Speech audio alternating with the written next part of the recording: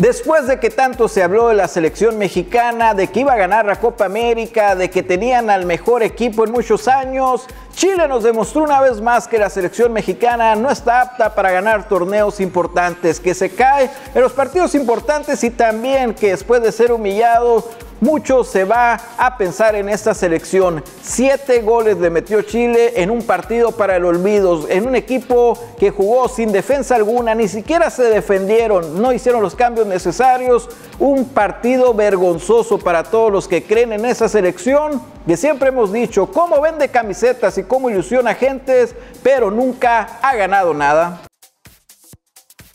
Mucho deja de qué hablar la derrota ante Chile que sufrió la selección mexicana. Una humillación la que tuvo Juan Carlos Osorio, director técnico del combinado mexicano, que la verdad mucho apunta en su libretita, pero nada hizo al respecto. ¿Cómo dejas fuera a Rafael Márquez, un líder de la defensa, el capitán, un gran jugador que mueve a sus jugadores?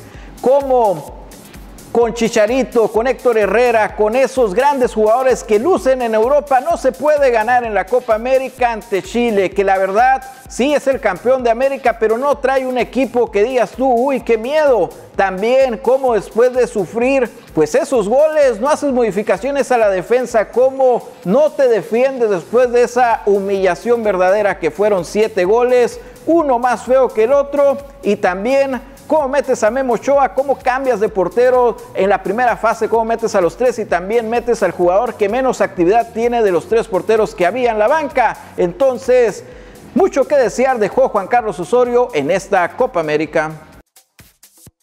Gran partido de final nos regalaron los Warriors y los Cavaliers de Cleveland. En un séptimo juego de ensueño donde se definió hasta los últimos minutos el partido con un gran regreso de Cleveland, LeBron James se convirtió en el jugador más valioso, también demostró por qué es uno de los mejores en los últimos tiempos. Un partido de ensueño para los aficionados del básquetbol, también Stephen Curry fallando a los últimos periodos, haciendo pases de fantasía en momentos críticos, ni hablar. Ganaron los Cavaliers de Cleveland, que son dignos campeones y le dan una alegría que no tenían mucho tiempo esa ciudad.